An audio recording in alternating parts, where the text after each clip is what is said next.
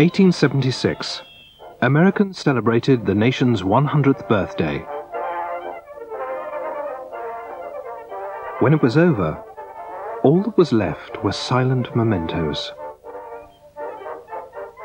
One year later, that would change.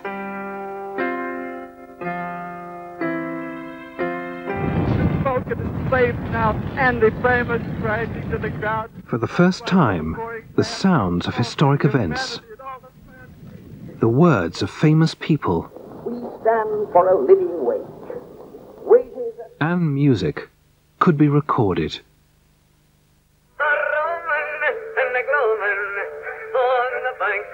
Thomas Alva Edison, the man who invented the phonograph, had no theoretical training in acoustics and only a few months of formal schooling. He despised grand opera, and he was almost totally deaf. Thomas Edison patented more than 1,000 inventions, including the first incandescent light bulb and one of the first motion picture cameras and projectors. But the phonograph would always remain his most original and favorite invention. He called it his little fella, his baby.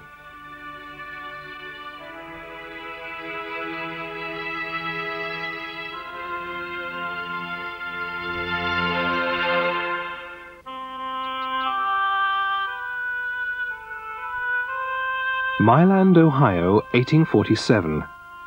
Here, on February the 11th, Thomas Alva Edison was born. A bright little boy, born late in life to his kind and understanding mother. From his father, Edison inherited a restless mind and a zest for life. At six, Edison was full of questions. How can a baby goose come out of an egg? Explanations only set the boy thinking and experimenting.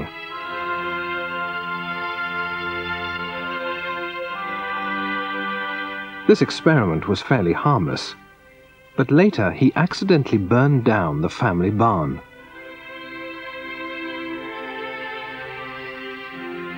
In Port Huron, Michigan, where the family moved, some experiments were more like pranks. At 11, young Edison was often in the family cellar, experimenting with chemicals instead of studying at school. Edison started school, but the teacher said he was inattentive, possibly stupid. His mother pulled him out after only three months. He never went to school again.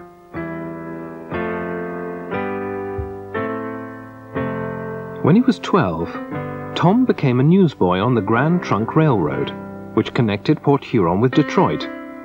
He set up a press and wrote and printed his own newspaper.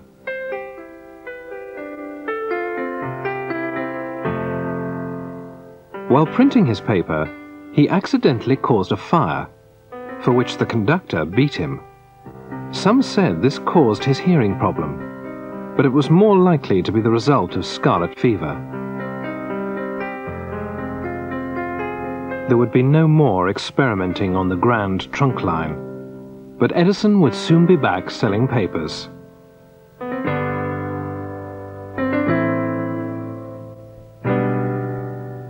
One day, during a stop at the St. Clements station, Tom rescued the station master's little boy from a runaway car.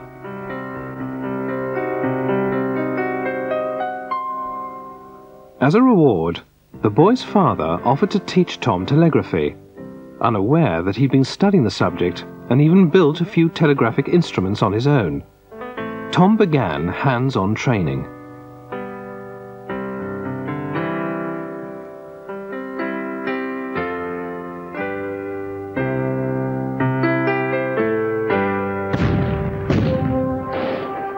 The nation was in the midst of civil war when 16-year-old Thomas Edison got his first job as a Western Union telegrapher. For four years, he wandered from station to station, reading about telegraphy and dreaming up ways to improve it.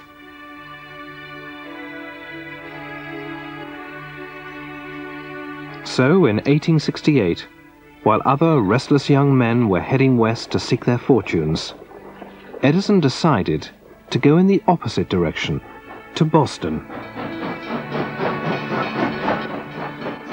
When Edison came to Boston, he was coming to one of the key innovation centers in America at that time.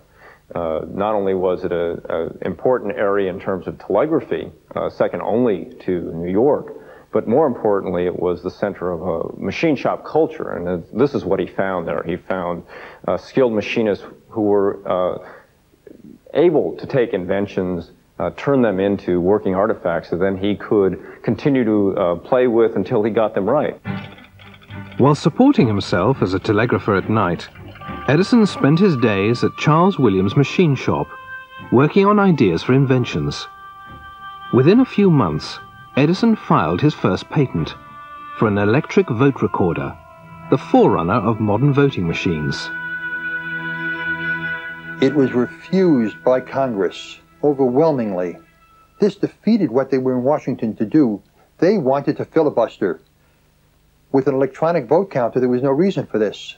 Edison was horribly disappointed and vowed that as a result of this fiasco, he would only invent products for which there was a market. If he couldn't sell it, he was not going to invent it. Penniless but optimistic, Edison informed fellow telegraphers that he was now a full-time inventor. He went to New York, where he met electrical engineer Frank Pope Pope liked the budding inventor and provided him with a home, introductions to investors, and work manufacturing and inventing telegraphic devices. The first invention that really paid off was a stock printer that revolutionized Wall Street.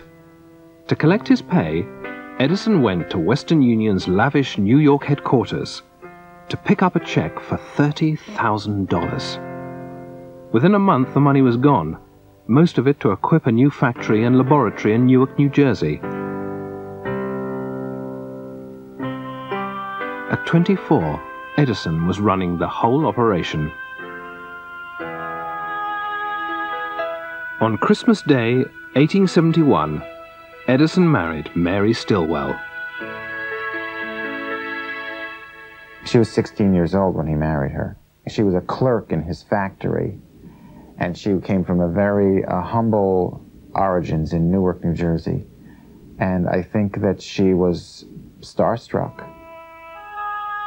After a brief honeymoon, Mary returned to their home, while her husband eagerly returned to his lab and his first true love, inventing. Not yet 30, Edison had a steady income and a measure of fame, but was restless.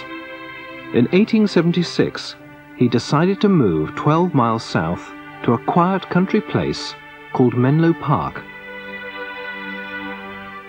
Edison needed a place where he could both be separated from but connected to the rest of the world. And a place like Menlo Park filled the bill perfectly. He was setting himself up not as a manufacturer, but as a professional change maker, making a living as an inventor.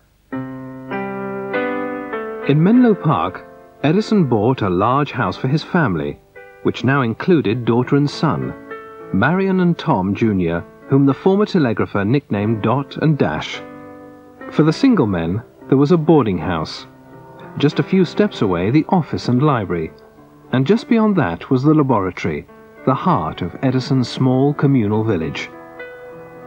With generous financing, mostly from Western Union, and with the best supplies and tools at hand, Edison and his team set to work on several projects in the summer of 1876. One was a repeating telegraph, a device to record an incoming message on a disc, then repeat it to the next station down the line. At the same time, Edison was working on a new transmitter for the telephone, recently invented by Alexander Graham Bell, Envious that Bell had invented the telephone first, Edison wanted to solve Bell's main problem. The voices could barely be heard. On the night of July the 18th, 1877, while Edison and his boys were in the lab testing a diaphragm from the telephone transmitter, Edison made a momentous discovery. He was playing in the laboratory one night, and as they were playing with the diaphragm, he put his finger under it and realized that there was enough movement there that he might be able to uh, cause an impression in a piece of wax paper or something else that would allow him to, in a sense, uh, repeat the message, to play it uh, once it was recorded, to play it back so it could continue over the line.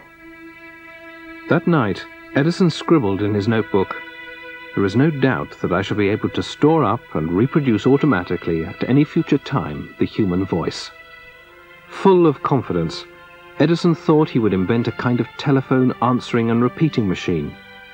But he was actually about to invent something far more original. The world's first phonograph.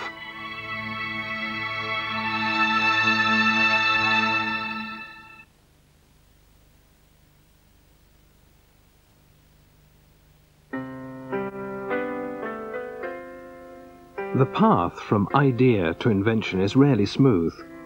When Edison started thinking about a phonograph, he knew he wasn't the first to record sound. A Frenchman named Léon Scott de Martinville had already done that, 20 years before on a machine he called the phonautograph.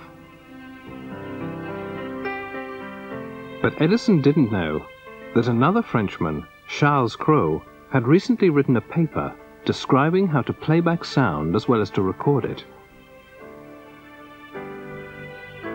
But what Cros conceived, Thomas Edison achieved with a little help from Charles Batchelor, a British-born draftsman, mechanic and problem solver, and John Kruesi, a Swiss-born master machinist. Even with help, work on the phonograph began very slowly. In fact, the word phonograph doesn't appear in Edison's notes until one month after he reached the conclusion that he could record and play back sound. Two weeks later, Edison reached another important turning point. On September 7th, he sits down and draws up what's essentially a, a list of possible things he can do with the phonograph. They're all things that we'd be familiar with today, uh, but uh, this marks the beginning of the phonograph as a completely separate uh, technology. Two months later, Scientific American announced that Mr. Edison had a wonderful new invention for a talking machine. It was a deliberate press leak written at Menlo Park. In reality, there was no phonograph, not even a sketch of its final form. On December the 3rd, Edison considered three different formats tape, disc, and cylinder before making a final decision. Fifty years later, he would recall, I designed my original tinfoil phonograph in cylinder form and gave it to my faithful John Kruesi to make. He made fun of it. Whether Kruesi made fun of Edison's drawing or not, he made it work. On December the 6th, he sent word to the boss that his new invention was ready for a test. In 1927, on the golden anniversary of the phonograph, Edison remembers what he said. The uh, first words I spoke in the original phonograph. A little piece of practical poetry. Mary had a little lamb, its fleece was white as snow, and everywhere that Mary went, the lamb was sure to go.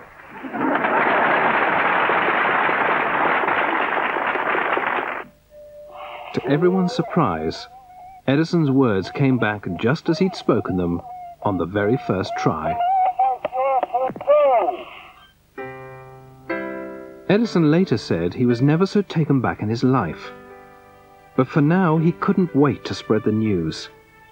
The very next day, Edison took the phonograph to the New York office of Scientific American for the first public premiere. The event was a sensation. I mean, if you read the articles in Scientific American, for example, that announced the discovery of the phonograph, you're struck over and over and over again by the amazement. All of a sudden, you can record your voice and play it back at any time, now, 50 years from now, a century from now. They were astounded by being able to do that, but they were also astounded by something else, that the apparatus was so basically simple. Edison's tinfoil phonograph was mechanically very simple, and its operation easy to understand. To make a recording, a person speaks into a horn, which directs sound waves towards a thin metal diaphragm. When the sound waves strike the diaphragm, they cause it to vibrate, and as the diaphragm vibrates, it also vibrates an attached needle. As the cylinder rotates, the needle makes indentations in a thin piece of tin foil. To play back the recording, the process is simply reversed. In this case, using a separate diaphragm and needle. By following the indentations, the needle and diaphragm vibrate, sending the same sound waves back again. Although the phonograph is very simple, at first, many people thought it must be magic. Edison was kind of an alchemist, really, in the public's mind. They felt that if in if he'd lived in the 1670s as opposed to the 1870s, you know, the, the benighted dark ages as opposed to the enlightened late 19th century, then he would have been burned at the stake for his views, that he was communing with the majesty of Satan. It wasn't long before Edison had a new title, the Wizard of Menlo Park. He was an international celebrity, and everyone wanted to see and hear his magical machine. In April, the wizard took a new demonstration model to Washington to show members of Congress and the Patents Committee. President Hayes was so thrilled with Edison's invention, he woke up his wife so she too could record and listen to her voice.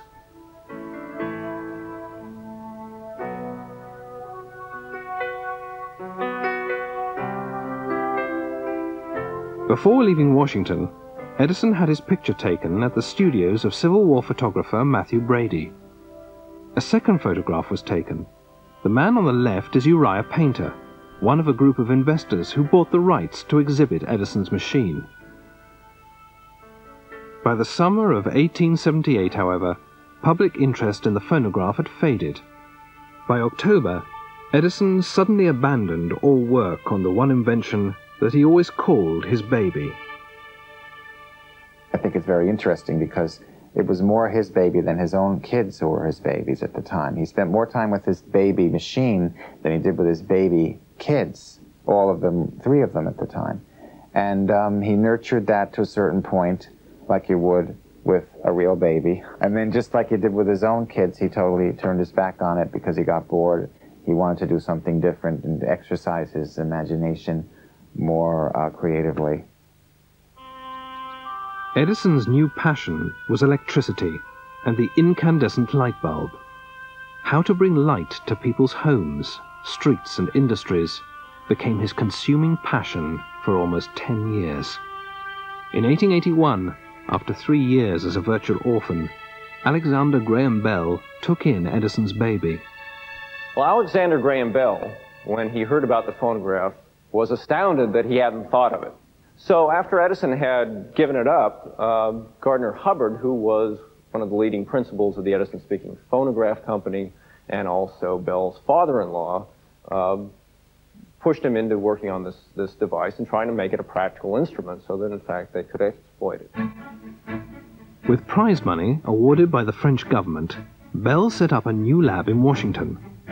He assigned the task for improving Edison's phonograph to his cousin Chichester Bell, a chemist, and Charles Tainter, a scientist and instrument maker. Working in secret, Tainter and Bell produced the graphophone. One key improvement was that the recording surface, instead of tin foil, which could only be played two or three times, became wax-covered cardboard. A motor, typically driven by a foot treadle, replaced the hand crank. Recognizing that the graphophone was really a set of improvements on Edison's invention, Bell suggested that they pool their patents and join forces. Edison was furious. Under no circumstances will I do business with Alexander Graham Bell or his pirates. Instead, he resolved to rescue his baby and make a new and better phonograph, a finely engineered machine that bore the name of the original inventor. Thomas Alva Edison.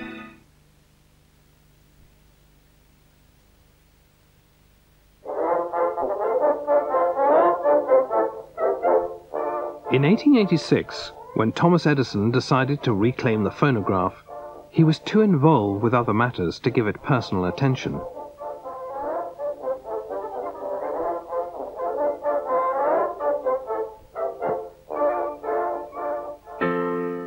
Edison was about to leave Menlo Park. He'd spent little time here over the past eight years while working on electricity.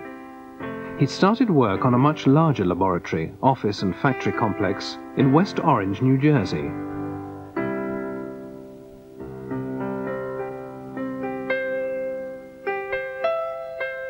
Edison also had a new wife, 20-year-old Mina Miller. His first wife, Mary, died suddenly from a brain tumor at 29. Unlike Mary, Mina came from a distinguished and wealthy family, so when the couple moved into Glenmont, their elegant new estate in West Orange, Mina took it all in her stride.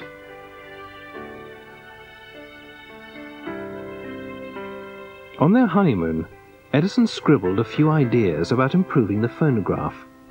But, still deeply involved with electrical concerns, he handed responsibility for the phonograph to others, especially Ezra Gilliland, an old friend, fellow inventor, and employee. They were known as Damon and Pythias. That's how close they really were. And they grew up together and they were friends in young adulthood, and Gilliland helped introduce Edison to his second wife, which is a very crucial thing.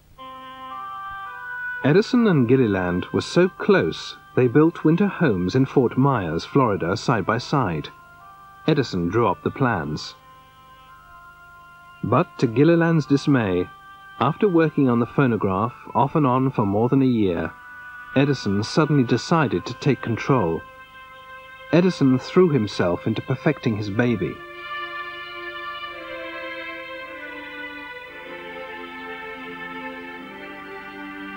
One reason for this change was that the Bell Tainter graphophone, recently introduced as a dictating machine, was getting the kind of press that Edison loved.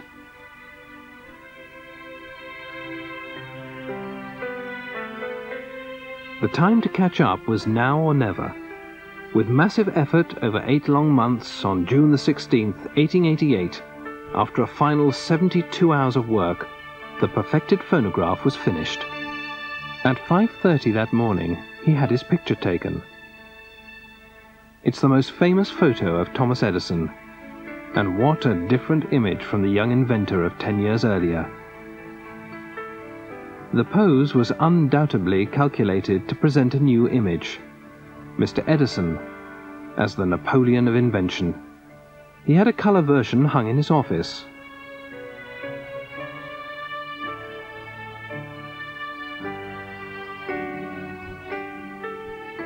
The recording surface for the phonograph was now wax instead of tin foil, an idea stolen from Bell and Tainter. But Edison had a far better compound. The wax could be shaved and reused hundreds of times.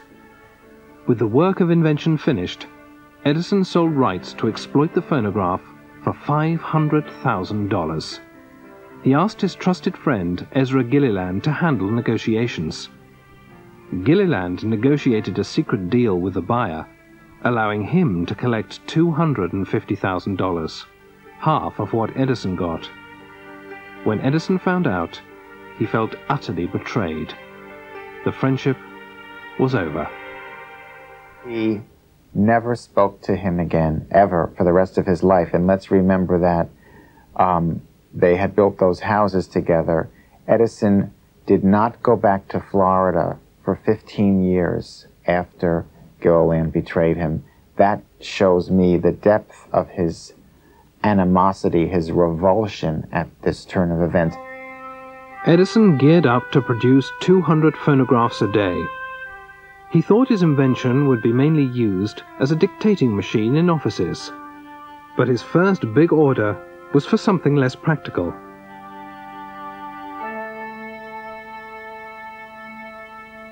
Tiny phonographs for talking dolls. With an imported bisque head and lifelike hair, the doll was pretty, but there were a few problems. The mechanism was really too fragile to be used inside a child's toy. The records were very soft, made of a brown wax material. Any kind of bumping or jarring would break the record, and the records were not replaceable by the doll owner. In addition, the sharp stylus that was used on the record would only allow one, two, three plays perhaps maximum before the stylus actually cut through the record and made the record unusable. Another problem was the quality of the recordings. Edison would later say that he found the voices of the little monsters exceedingly unpleasant to hear.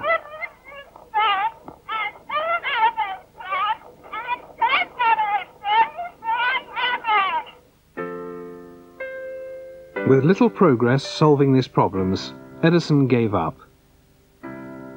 By 1890, the phonograph had found a home in concert halls, where people gathered to hear their favorite tunes.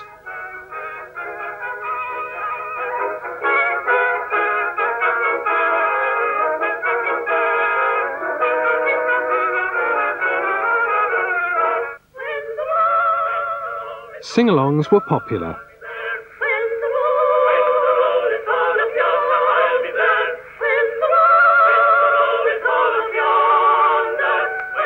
But the most popular and profitable use of the phonograph was in phonograph parlors, in penny arcades, in hotel lobbies and train stations.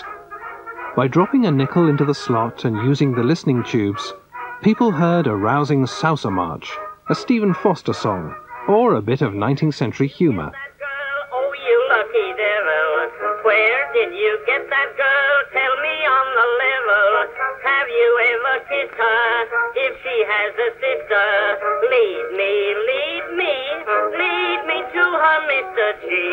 The popularity of slot phonographs kept Edison's factory humming.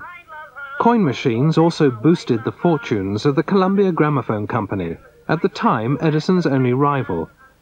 Both companies were constantly asked to make more records.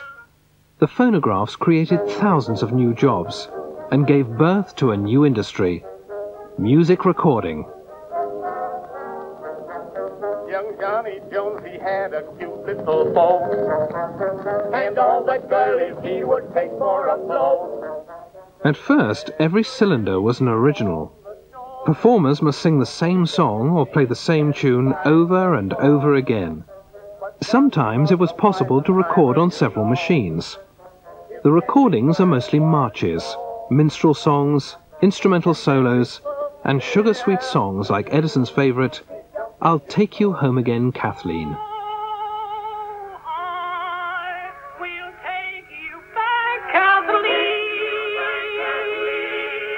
What you really have here is somebody with very, very traditional pedestrian, or shall we say, middle of the road tastes, that he believed this was what the rest of the American public had an obligation to uh, attend to, which was coming from Thomas Edison in his role as setting the tone, as it were, for what people should listen to in their homes. And if it was good enough for him, it was good enough for everybody else. In 1893, most phonographs were still in recital halls and penny arcades. Very few were in private homes.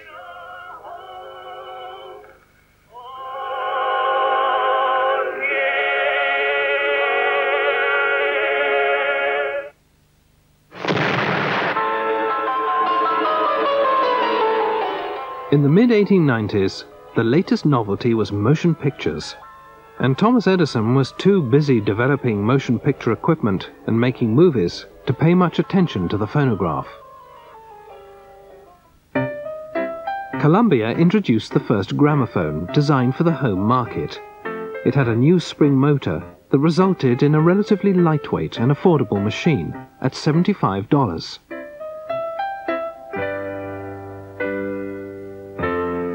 Shocked into action, it took Edison two years to come up with his first home phonograph, a superior machine priced at only $40.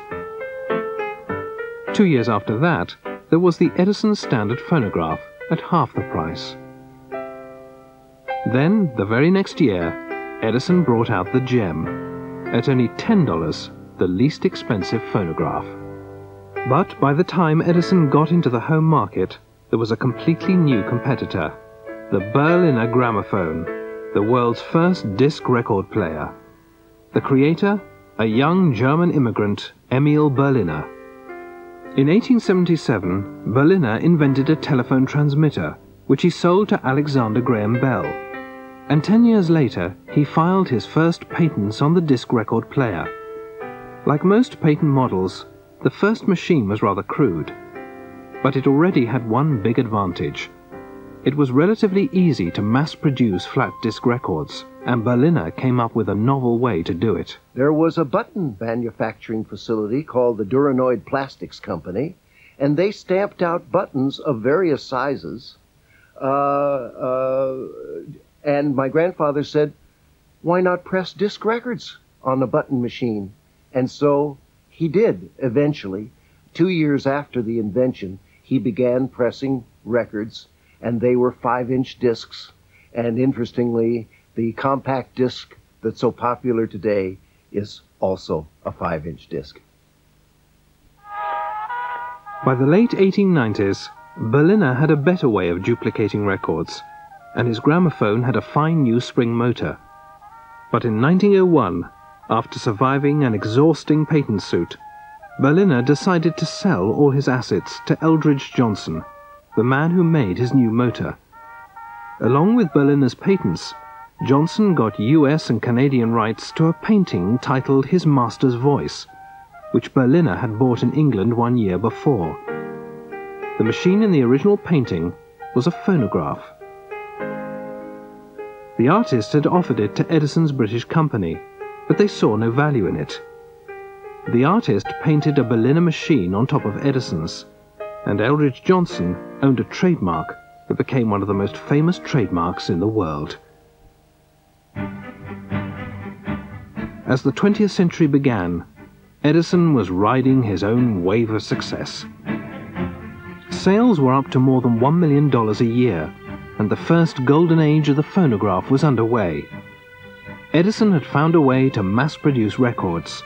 They were called gold cylinders because the process involved electroplating gold onto a wax master.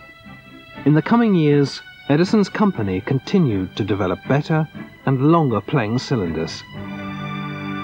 From the very inception of Edison's business career, he believed if he was going to produce a product, it had to be the best. From the very beginning, he was very proud of the name Edison.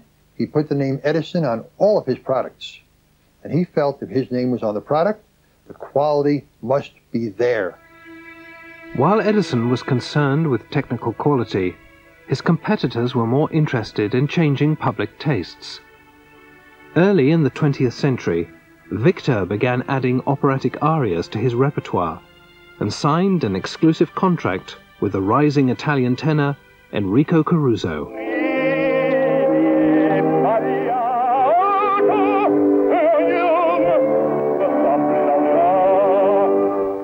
In 1906, the Victor Company made another radical change. In the early 1900s, all of the phonographs had an external horn. It was a very large, very cumbersome, unwieldy affair. And housewives objected, number one, to the looks of these horns, number two, of the fact that they protruded into the room and people constantly bumped into them, and number three, they were horrible dust collectors. The Victor Talking Machine Company heard this complaint and they addressed it. They took the horn from outside the phonograph cabinet and placed it within the cabinet. So now it became part of a piece of furniture. We now had the first home entertainment system. The phonograph, the internal horn, and storage area for records. Priced at $200, the Victrola was an instant success. Edison had to respond. His answer was the Amberola, a very handsome machine, also $200. But it played cylinders.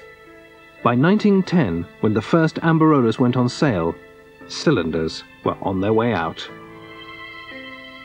Eventually, there's a greater and greater demand for discs. Although he believes that the recording technology of cylinder is superior, discs have a lot of advantages. They're easier to use, uh, they're easier to store, and so Edison, in fact, has to go and invent his own uh, disc record. To do so, Edison spent more and more time at the lab, where his team had already begun work developing a disc machine and record. When Edison threw himself into a project, he worked around the clock. During the week of September the 10th, he put in 111 hours and 48 minutes, a heavy load given his 65 years.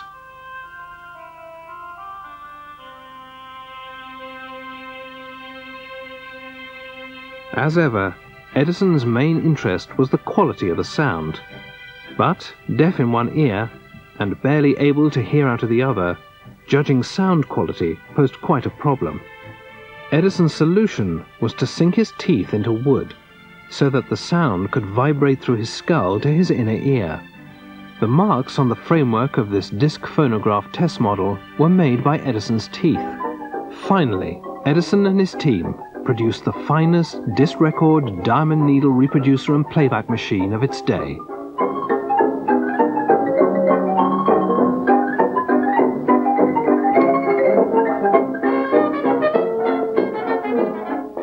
In 1917, sales had reached an all-time high, and the future looked rosy for Edison and his competitors. But they didn't realize that the first golden age of the phonograph was about to end.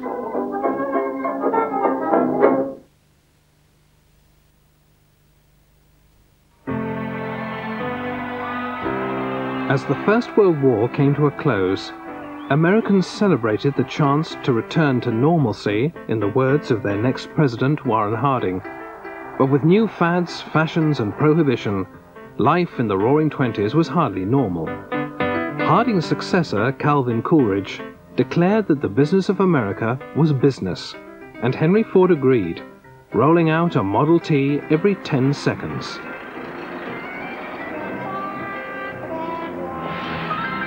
The energy of the 20s was set to a new rhythm jazz. Beginning on segregated race records, African American artists like Louis Armstrong created a new American art form. Jazz records began to cross the color line, and the phonograph began to bridge black and white America.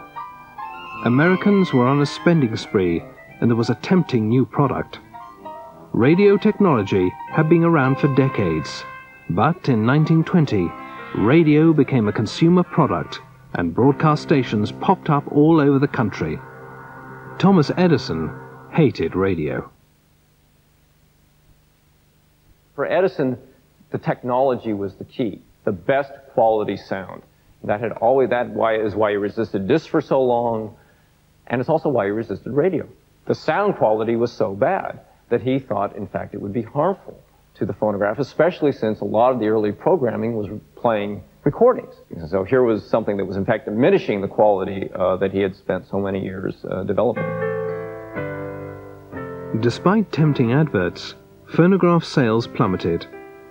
While Edison declared radio was a fad, his son Charles disagreed. Charles had been working for his father for several years. Now, acting head of the company, he argued that they should start making radios, like Victor and other competitors.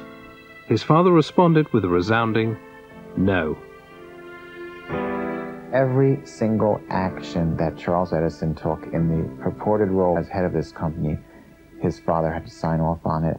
And he ended up writing a memoir called Out of the Shadow, which really explains this relationship having to do with domination versus emancipation, a classic father son struggle. The struggle continued and became more heated after 1925, when electronic recordings were introduced. While Charles worried about the future, Edison was out and about soaking up praise as the great inventor and the most famous man in America. He also enjoyed well publicized camping trips with his friends Henry Ford and tire magnate Harvey Firestone. He didn't seem to have a care in the world.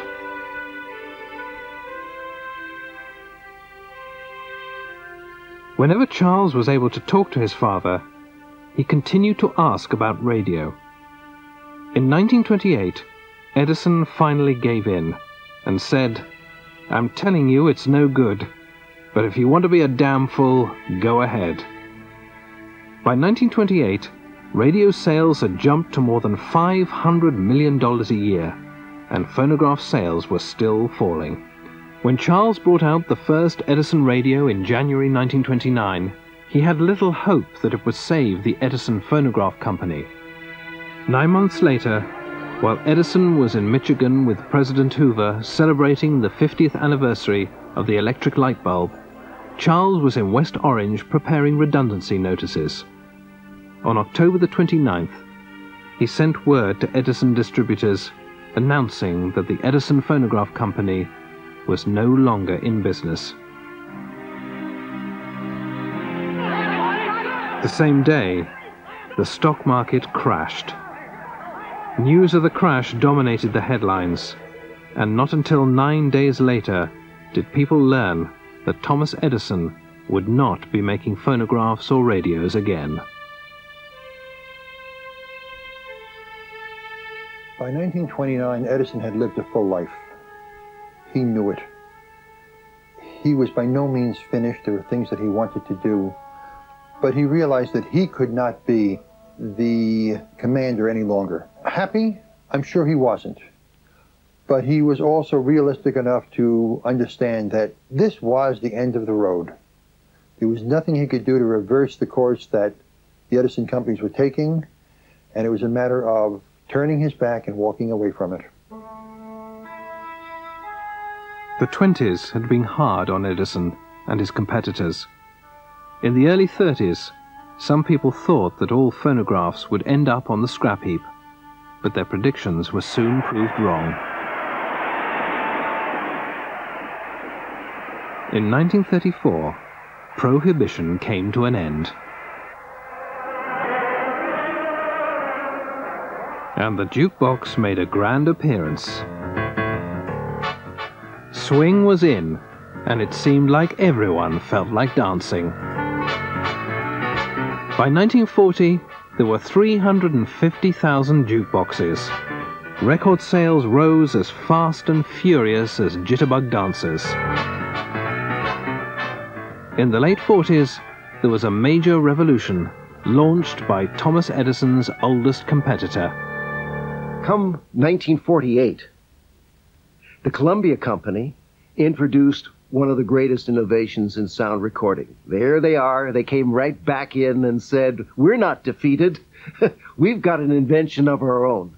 And of course, it was the long playing record, which was not made of shellac, it was made of plastic or uh, vinyl or vinylite. And it was a marvelous, marvelous innovation. With the new long playing records, the old problem of running time seemed to have been conquered. Listeners were able to enjoy more than 20 minutes of music on each side. But the LP, which runs at 33 and a third revolutions per minute, soon had competition. The 45 RPM single introduced by RCA.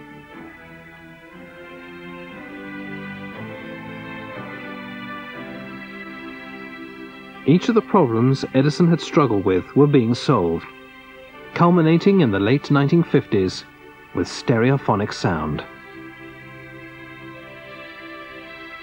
In 1982, after more than 100 years of continual improvements, a truly new recording technology appeared, the digital compact disc.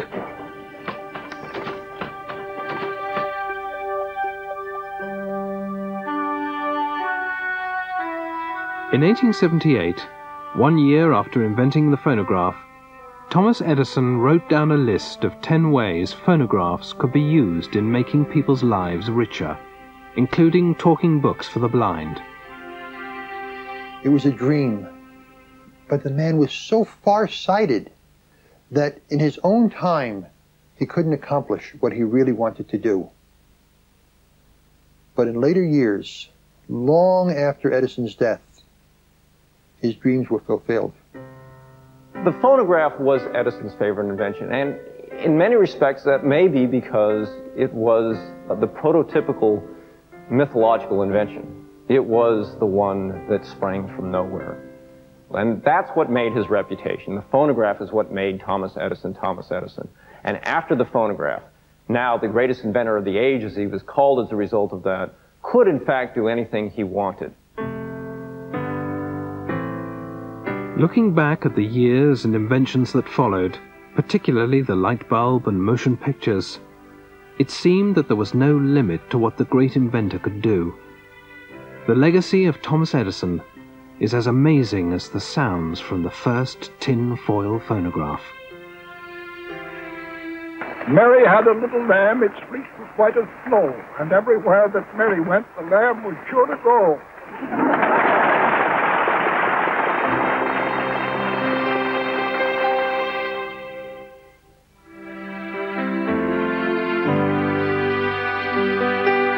Next week at the same time, Modern Marvels discovers the awesome dimensions of the only man-made object visible from space and finds out who built it and why, the Great Wall of China.